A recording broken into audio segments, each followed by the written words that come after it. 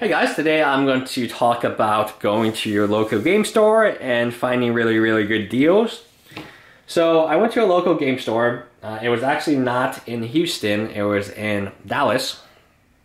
I'm not going to mention the store's name because I'm just not going to do that and you're probably going to figure out why I'm not going to do that a little later. So this is what I found in the Commons bulk. So they, this was the store. They had, they were a comic book store, but they also had anime merchandise and they had a ton, a ton of bulk just everywhere. And it's one of those stores where uh, they have magic cards, but they probably don't. They probably don't have like a magic person who knows prices that well. So I was able to pick these up, and they were extremely cheap. They were 15 cents a card because they were commons. I the store I don't believe carried any more recent stuff. Um, they carried dragons, which I'll show you later in this pile. But for the most part, they just had a lot of older stuff, which was good. And this was a pile of commons I picked up. I did buy a Eternal Masters box from them, so I don't feel too bad because I overpaid for that one. But it's always nice to find a good deal. Visions, 15 cents is pretty good from a, from the dark. This card is a few dollars, I believe. Could be. But they're like very grimy. Like, I can't explain to you, but they get, they're very sticky and it feels like someone put like bubblegum gum on them. So they're not in near mint condition, and maybe that's why they're so cheap. But Cabal Ritual, which is seeing a lot of play in Storm, Vintage Storm, Dark Rituals, which is always good to pick up. Again, these were all 15 cents and they are kind of grimy except the New York cards. Sands, they are pricey. Promos, they obviously had the Dragons of Tarkir promo, and these are actually clean. The rest of the cards I just showed you are very grimy. And I did pick up some other cards from them, but I'll show you that a little later because they were more, they weren't for 15 cents. Uh, Gitaxian Probe, lots of Gitaxian Probes. I know these cards are expensive, one, two, three, four, five, six, seven, eight, nine, ten. Perfect. 10 Gitaxian probes for a dollar fifty.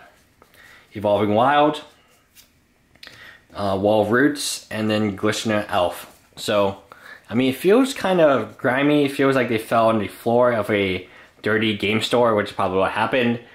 But at the same time, it's a really, really good deal. When you can get, Gitaxian Probe for 15 cents, why not, even if they are a little bit dirty? Mardo of Sands, Dark Ritual, Cabal, Ritual, uh, Seething Song, Serum Visions, and Crypt, and then a bunch of Evolving Wilds. Probably the Evolving Wilds were not like the best deal, but 15 cents. I kind of confused them with the Evolving Wilds foil promo, which is pricier, and then these cards were probably worth a dollar each.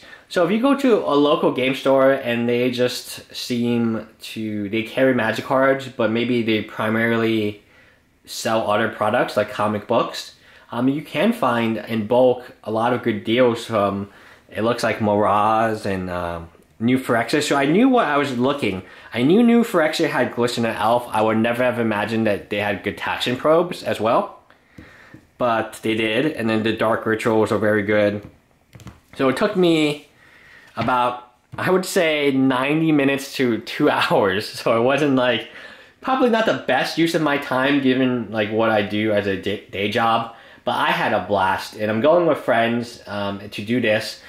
And people asking, oh, why are you doing more of these flea market stuff? It's because I'm going with friends. I have a new friend and he uh, really likes going on flea markets. Uh, and we have a ton of them in Texas, like flea markets everywhere.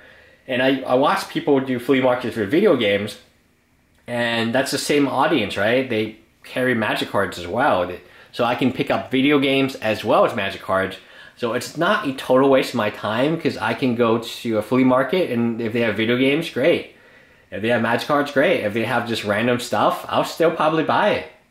Because it's so like inexpensive. And this one was from my local store.